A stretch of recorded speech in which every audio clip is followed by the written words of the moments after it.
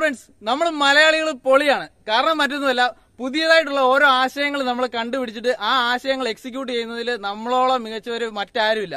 അങ്ങനെ ഒരു പുതിയ ആശയം കണ്ടുപിടിച്ച് ആ ആശയം പ്രാവർത്തികമാക്കിയ ഒരു വ്യക്തിയുടെ അടുത്താണ് ഞാൻ ഇന്ന് നിൽക്കുന്നത്. മറ്റാരുമല്ല നമ്മുടെ ജോസഫ് ചേട്ടൻ ജോസഫ് ചേട്ടന്റെ സാമ്രാജ്യത്തിലാണ് നമ്മളിപ്പോ നിൽക്കുന്നത്. നമ്മുടെ ഡ്രാഗൺ ഫ്രൂട്ട് ആണ് ചേട്ടന്റെ ഈ ഒരു സാമ്രാജ്യം. നമുക്ക് ചേട്ടന്റെ കൃഷിയും കാര്യങ്ങളും ഒക്കെ ഒന്ന് വിശദമായിട്ട് നമുക്ക് പരിചയപ്പെടാം. ചേട്ടന്റെ അടുക്ക കാര്യങ്ങളൊക്കെ ചോദിച്ച് മനസ്സിലാക്കാം. ആ കട്ട് ചെയ്ത് കട്ട് ചെയ്ത്. ഇത് ഇതിന്റെ ഒരു അംശം കൂടെ. ഇവിടെ വരണം. ആ വരണം. കട്ട് ചെയ്യുമ്പോഴത്തേന് ഡാമേജ് ആവും. ഡാമേജ് ആവും. പ്ലക്കർ അങ്ങോട്ട് കടത്തിയിട്ട് ഓക്കെ ഓക്കെ കൂടെ ശ- ശകലം കൂടെ വെച്ചിട്ട് കട്ട് ചെയ്യുന്നത്. ഡാമേജ് ആകാതെ ഇത് ഷെൽഫ് ലൈഫ് ഒരു പതിനാല് ദിവസം ഷെൽഫ് ലൈഫ് ഉള്ളതാണ്. പതിനാല് ദിവസം ഉണ്ട്. Okay okay. ആ.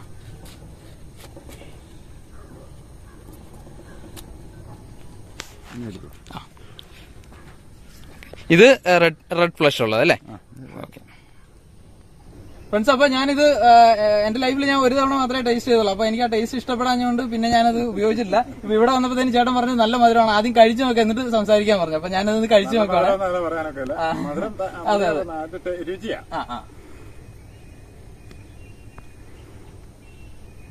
മധുരം.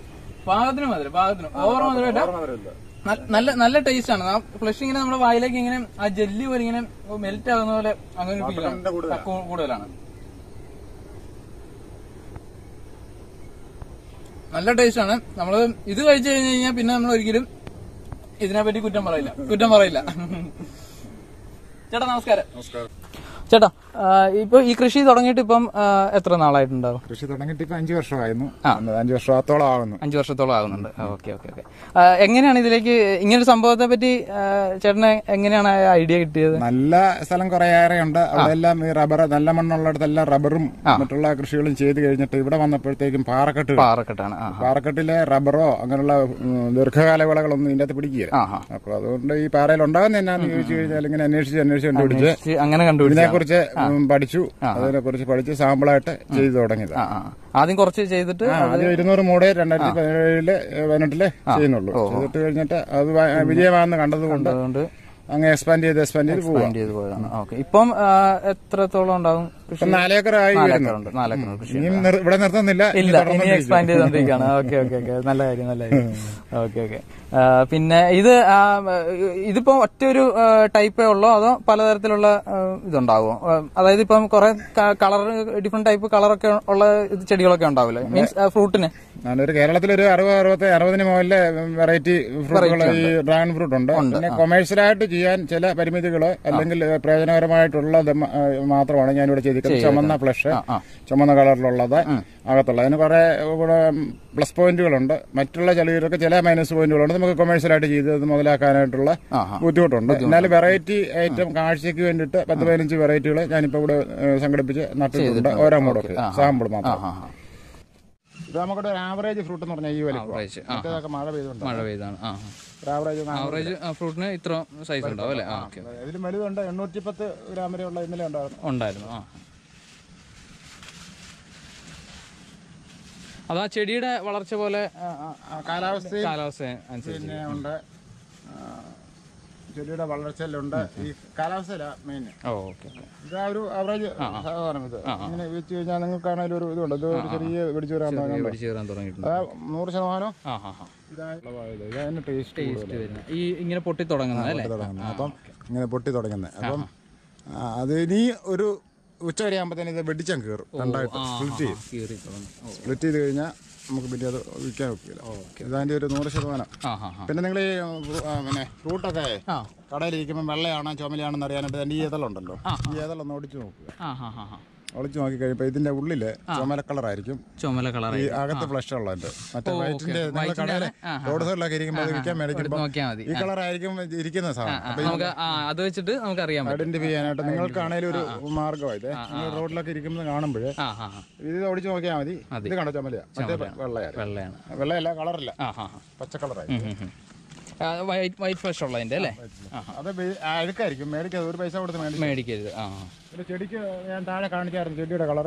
ഫ്രൂട്ട് മഞ്ഞ. ഫ്രൂട്ട് മഞ്ഞ. ആ. എല്ലാരും കാണിക്കാറുണ്ട്. ആ ഓക്കെ. ഇത് ഇതിന്റെ സൈസ് ചെറുതായിരിക്കും അല്ലേ? ആ ഓക്കെ ഓക്കെ. ടേസ്റ്റ് കൂടുതലാ. പക്ഷേ ഇത് വിളവാകണമെങ്കിൽ മൂന്ന് മാസം എടുക്കും. എടുക്കും. അവിടെ നമുക്ക് കൊമേഴ്സ്യലായിട്ട് ഇത് ചെയ്യാൻ പറ്റില്ല. ചെയ്യാൻ പറ്റില്ല. അവതരുണ്ട് നല്ല ഫ്രൂട്ട്. ഇത് സ്ഥിരം കൊച്ചിയാ?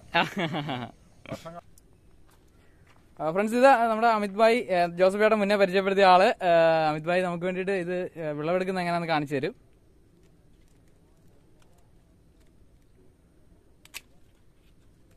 ഓക്കെ കട്ട് ചെയ്തു. ഇതിന്റെ പാടുണ്ട് ഉറുമ്പൊക്കെ ഇത് സെയിൽസിന് വിടാൻ പറ്റിയ? പറ്റില്ല. ഓ ഓ.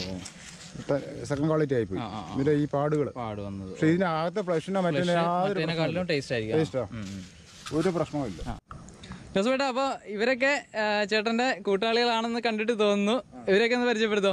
കൂട്ടാളികളാണ്. രാവിലെ ഞങ്ങൾ ഫ്രൂട്ട് കട്ട് ചെയ്യാൻ എല്ലാവരും കൂടെ കൂടി ഫ്രൂട്ട് കട്ട് ചെയ്യാൻ പോവാൻ രണ്ട് മക്കളുണ്ട്. അവരോട് കയറി ഇപ്പം വരും. ഞങ്ങളിപ്പം ഫ്രൂട്ട് കട്ട് ചെയ്യാനുള്ള വിളവെടുക്കാനുള്ള സംവിധാനം ചെയ്യാതാണ് ഇത് അപ്പച്ചൻ മുണ്ടക്കയാണ് വീട്. ഇത് അമിത് ഒറീസയാണ്. അത് ജേസൺ ഒറീസ അത് ജിത്തു. ജിത്തു ഒറീസ നാല് നാലര വർഷമായി വന്നു കൂടിയിട്ട് ജിത്തുവിന്റെ ഭാര്യയാണ് റിനു. മമ്മി. പിന്നെ അപ്പുറത്തേത് മോഹനൻ. മുണ്ടക്കയാണ് സ്വദേശം. ഇവിടെ വന്നിട്ട് നാല് അഞ്ചു നാലര അഞ്ച് വർഷത്തോളമായി.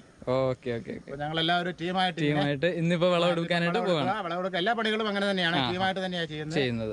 ഒരാൾ കട്ട് ചെയ്യും ഒരാൾ കവർ അഴിക്കും ഒരാൾ ലോഡ് ചെയ്യും. അങ്ങനെ ഞങ്ങൾ അങ്ങോട്ടും ഇങ്ങോട്ടും പ്രത്യേക പണികൾ ഒരു ടീമായിട്ട് ടീം സ്പിരിറ്റോടെ സ്പിരിറ്റോടെ ഇൻക്ലൂഡിങ് ഞാൻ.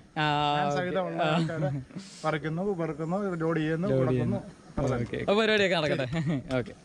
അപ്പൊ അവിടെ ഇങ്ങോട്ട് കട്ട് ചെയ്ത് ഇറങ്ങിയ വെച്ചു കവർ എടുക്ക ജേസനും വെള്ളം എടുത്തോ? വെള്ളം എടുത്ത് മോനെ കവർ ഒരു സൈഡിൽ നിന്ന് കഴിച്ചു ഒരു ലോഡ് പോയാലേ ഒക്കുള്ളൂ. കാര്യം വണ്ടി ഇങ്ങോട്ട് കയറി തരാം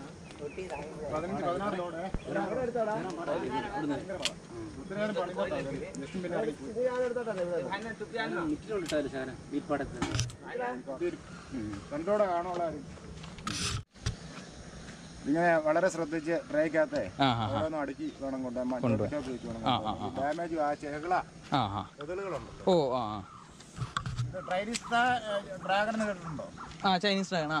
അതിന്റെ പുറത്തെ ശൽക്കങ്ങളാണ് ശൽക്കങ്ങളാണ് അതുകൊണ്ടാണ് ഡ്രാഗൺ ഫ്രൂട്ട് എന്ന പേര് കിട്ടിയേക്കുന്നത്. മലയാളത്തിൽ ഇതിന്റെ പേര് പിത്തായപ്പഴം എന്നാണ് പിത്തായപ്പഴം ഇപ്പം നമ്മുടെ ബി ജെ പി ഗവൺമെന്റ് ഇതിന്റെ പേര് ഗുജറാത്തിൽ കമലം നാക്കി കമലം നാക്കി ആ ചൈനീസ് അല്ല നാടനാണെന്ന് പറഞ്ഞു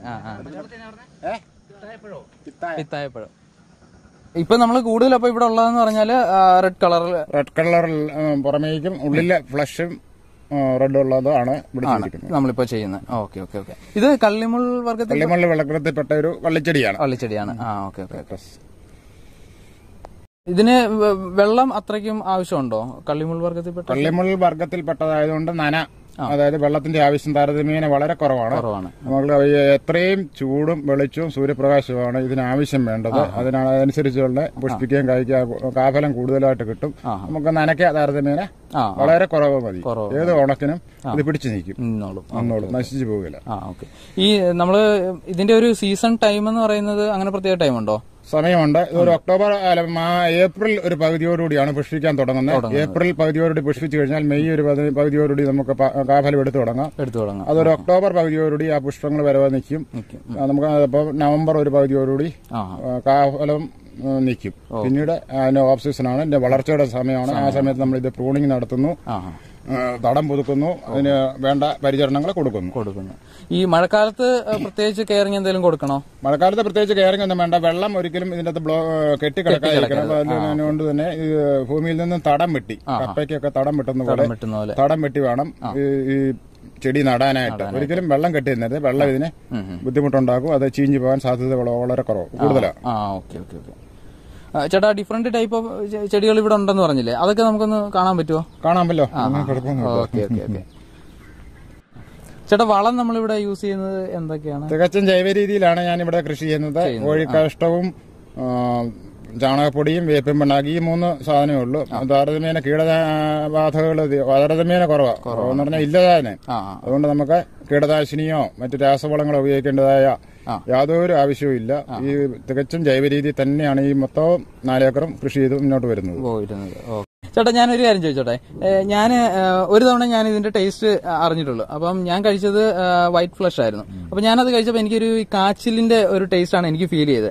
അപ്പോൾ ഇപ്പൊ ഞാൻ കഴിച്ചു നോക്കിയിട്ട് എനിക്കും അങ്ങനെ മധുരം ഫീൽ ചെയ്തു. അപ്പം അതെന്താ അങ്ങനെ ഒരു ഡിഫറൻസിന് കാരണം? ഇതിന് അധികം മധുരമില്ല. ഒരു പുളി കലർന്ന മധുരമാണ് ഇതിന്റെ രുചി അതിന്റെ ടേസ്റ്റ്. അതായത് നമ്മുടെ ഷുഗർ ഡയബറ്റീസ് രോഗികൾക്ക് ഇത് കഴിക്കാം. വെയിറ്റ് ലോസുകാർക്ക് ഇത് ഒരെണ്ണം കഴിച്ചു കഴിഞ്ഞു കഴിഞ്ഞാൽ വയറ് നിറഞ്ഞ ഒരു പ്രതീതി ഉള്ളതുകൊണ്ട്. പിന്നെ ഫൈബർ റിച്ച് ആണ് വാട്ടർ കണ്ടന്റ് പദാർത്ഥത്തിന് കൂടുതലാണ്. അങ്ങനെ കുറെ അത്ര മെഡിസിനൽ വാല്യൂകളെ ഉണ്ട്. ഉള്ള ഒരു ഫ്രൂട്ടാണ്. ഇതിന്റെ അകത്ത് വെളുത്ത ഫ്ലഷ് അകത്ത് വരുന്ന വിദേശ രാജ്യങ്ങളിൽ കൃഷി ചെയ്തിരുന്ന അവിടുന്ന് ഇമ്പോർട്ട് ചെയ്ത് ഇവിടെ വരുന്നുണ്ട്. താരതമ്യേന വില കുറവാണ്. അത് പച്ചക്കായ ആർട്ടിഫിഷ്യലായിട്ട് പഴിപ്പിച്ച് വഴിയോരങ്ങളിൽ വെച്ച് വിൽക്കുന്നുണ്ട്. പലരും അത് വാങ്ങി കഴിച്ചിട്ടാണ്. ഇതിനെക്കുറിച്ച് ബുദ്ധിമുട്ടോ അല്ലെ രുചിയാണെന്നോ ഒക്കെ പറയുന്നത് അത്തരത്തിലാകാൻ സാധ്യത കൂടുതൽ ആ ആ. ഒരു പിന്നെ കള്ളിമുൾ വർഗത്തിൽപ്പെട്ട ഒരു വള്ളിച്ചെടിയാണ്. ഇത് വള്ളിച്ചെടിയാണ് ഒരു ഒരു താങ്ങുണ്ടെങ്കിൽ ഏത് ഉയരത്തിലും കയറിപ്പോവും ആ. പക്ഷേ പുഷ്പിക്കുകയോ കായ്ക്കുകയോ ചെയ്യില്ല. അപ്പം ഈ മരത്തിലൊക്കെ കയറി ഇത് എപ്പോൾ ഇതിന്റെ തല താഴോട്ട് തൂങ്ങാൻ തുടങ്ങുന്നു ആ സമയത്ത് മാത്രമേ ഇത് പുഷ്പിക്കാനും കായ്ക്കാനും തുടങ്ങുള്ളൂ. തുടങ്ങുള്ളൂ. അപ്പൊ അത്തരത്തിൽ വളരെ ഉയരത്തിലൊക്കെ ആണെങ്കിൽ നമുക്കിത് മുള്ളുള്ളത് കൊണ്ടും കൈകാര്യം ചെയ്യാനുള്ള ബുദ്ധിമുട്ടുകൾ കൊണ്ടും നമ്മൾ കൊമേഴ്സ്യലായിട്ട് അത് പ്രായോഗികമല്ല. അപ്പം കൊമേഴ്സ്യലായിട്ട് നമ്മളിവിടെ പ്രായോഗികമായിട്ട് ചെയ്തിരിക്കുന്നത്. ഒരു ആറരയടി നീളമുള്ള കോൺക്രീറ്റ് കാലുണ്ടാക്കി അതിന്റെ അകത്ത് ഇത് ഈ വള്ളിച്ചെടി കയറ്റി വിട്ട് അതിന്റെ ടോപ്പിൽ ഒരു ടയർ കൊടുത്ത് ആ ടയറിനകത്തൂടെ കയറ്റി ഇത് വിടർന്ന് നിൽക്കത്തക്കവണ്ണം ഉള്ള ക്രമീകരണമാണ് ചെയ്തിരിക്കുന്നത്. അത്തരത്തിൽ ഇത് ഇതേലെ പിടിച്ച് തൂണെ പിടിച്ച് കയറുന്നവരെ നമ്മൾ എന്തെങ്കിലും നാരുകൾ വെച്ചിട്ട് ജൈവമായിട്ടുള്ള നാരുകൾ വെച്ചിട്ട് അത് പിടിച്ചു കെട്ടി കൊടുക്കുക. പിടിച്ചു കെട്ടി സപ്പോർട്ട് കാലയിലായിട്ട് വേര് പിടിച്ച് ചുറ്റി ഈ പില്ലറിന്റെ മകളെ കയറി താഴോട്ട് തൂങ്ങി കഴിയുമ്പോഴത്തേക്കും നമുക്ക് ഫ്രൂട്ടും പുഷ്പിക്കുകയും കായ്ക്കുകയും നമുക്ക് പഴം അതിന്റെ കാഫലം കിട്ടുകയും ചെയ്യും. പൂ ഇത് സ്മെല്ലുള്ള പൂ പുഷ്പമാണോ ഇതിന് താരതമ്യേന മണം കുറവാണ്. പക്ഷേ രാത്രി ഒരു നിശാഗന്ധിയുടെ പൂക്കൾ പോലെയാണ്. വളരെ വലിപ്പത്തിലാണ് ഇത് വിരിയുന്നത്. ഒരു രാത്രി ഒരു എട്ടര ഒൻപത് മണിക്ക് സമയങ്ങളാണ് ഇത് വിരിയുന്നത്. രാവിലെ സൺലൈറ്റ് അടിച്ച് ഒരു ഏഴ് മണിയോടുകൂടി ചൊക്കി പോകും ഓഹോ. രാത്രിയിലാണ്. അതിരാവിലെ ഇവിടെ ഈ തോട്ടത്തേക്ക് വന്നു കഴിഞ്ഞാൽ തേനീച്ചകളുടെ നല്ല ആരവവും തേനീച്ചത് ആണ് ഇതിന്റെ പോളിനേഷൻ നടത്തുന്നത്. തേനീച്ചകൾ ധാരാളം തേനീച്ചകൾ ഈ ഇതിനകത്ത് കാണും. അതും തോട്ടം വിരിയുമ്പോൾ ഒരു ആയ- ആയിരക്കണക്കിന് ഒന്നിച്ചാണ് വിരിയ ഒരു ദിവസമായിരിക്കും വിരിയുന്നത്. അതൊരു ആയിരക്കണക്കിന് പുഷ്പങ്ങൾ നമുക്ക് കാണാൻ പറ്റും. നല്ല ഭംഗിയുള്ള ഒരു കാഴ്ചയാണ് ഈ വാടി കഴിഞ്ഞ ഒരു തവണ പുഷ്പിക്കത്തുള്ളൂ അല്ലേ? ആ ഒരു തവണയെ പുഷ്പിക്കുള്ളൂ. പുഷ്പത്തിന്റെ ചുവട്ടിലാണ് കായ ഉണ്ടാകുന്നത്. ആ പുഷ്പം രണ്ടോ ദിവസം മൂന്ന് ദിവസം കൊണ്ട് ശുഷ്കിച്ച് അത് പൊഴിഞ്ഞോ ഉണങ്ങിയോ താഴെ പോകും. പിന്നെ ആ. അറ്റത്ത് ചുവട്ടിലുണ്ടാവുന്ന കായ. വളർന്ന് വളർന്ന് ആ പുഷ്പം വിടർന്ന് പറഞ്ഞിട്ട് മുപ്പതാമത്തെ ദിവസം നമുക്ക് ഇതിന്റെ ഫലം മുറിച്ചെടുക്കാവുന്ന മുറിച്ചെടുക്കാൻ പറ്റുന്നതാണ്.